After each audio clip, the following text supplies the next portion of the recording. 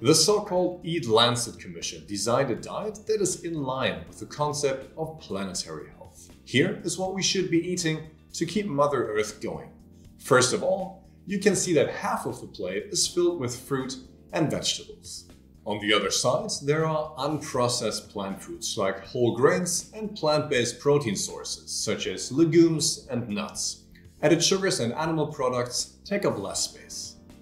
Does that ring a bell? It's very similar to the ideal diet to tackle the NCD crisis, right?